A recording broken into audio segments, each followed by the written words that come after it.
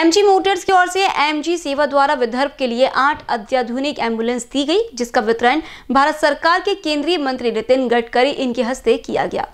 Corona काल में संपूर्ण विदर्भ में एंबुलेंस की कमी हुई थी। ये कमी इतनी थी कि जिसे भारी संख्या में कोरोना पेशेंट ने अपनी जान भी गंवाई। इसी समस्या को देख एमजी सेवा ने अपना सामाजिक दायित्व समझते हुए विदर्भ के विविध सामाजिक संस्था को अत्याधुनिक एंबुलेंस देने का निर्णय लिया।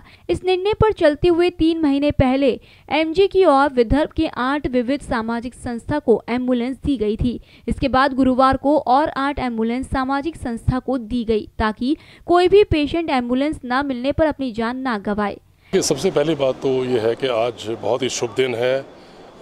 नवरात्रे समाप्त हुए हैं और आज नवमी है।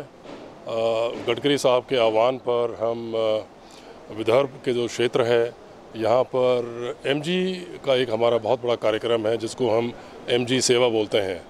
उस एमजी सेवा के अंतर्गत हम कई काम कर रहे हैं और एक उसमें मुख्य काम ये है कि हम जो कोरोना की जो स्थिति पूरे देश में और पूरे विश्व में उत्पन्न हुई है उससे हम सबने ये सीखा है कि हम सबको मिल कर के सेहत के बारे में हेल्थ के बारे में हेल्थ केयर के बारे में हमें कुछ आ, आ, काम करना है।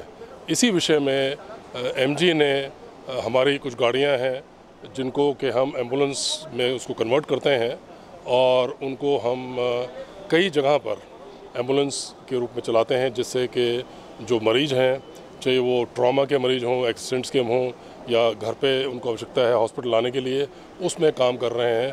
और ख़ास करके जो इंटीरियर्स हैं, जो हमारे गाँव हैं, दूर दराज की जो जगह है, जहाँ पर चिकित्सा की सुविधा उपलब्ध नहीं है, वहाँ पर हमारी एम्बुलेंसेस जो हैं एमजी की, ये हमें, वहाँ पर हम इनको लगा रहे हैं। कैमरा पर्सन राजकुमार मोहड़ के साथ अभिषेक पानसी की रिपोर्ट।